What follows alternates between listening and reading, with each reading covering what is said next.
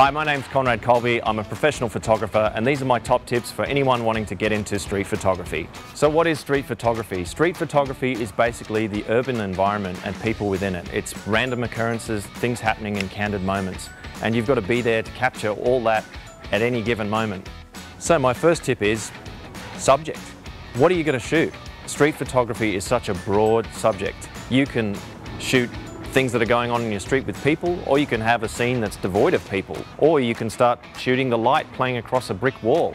You can shoot just about anything that's in your urban environment. So start thinking when you're outside your front door, what looks cool to you? What do you like looking at? And then start thinking, how can you put that in a nice frame? Which brings us to my second tip, which is composition. Composition, whether you're talking about art or a photograph, is one of the most important aspects to make a picture look great. So when you're putting your subject in your photograph, you want it to be the point of focus. So that's about keeping things simple. So start trying to see things with your eye and make sure you don't have too many elements in them all going on at once. Try to balance your frame. Think about your different angles. Shoot from up high, shoot from down low. Stand back from your subject, come up right in close to people. See how close you can actually get to your subject. Experiment. The more you play around, the more you'll start to feel comfortable and confident in your own methods.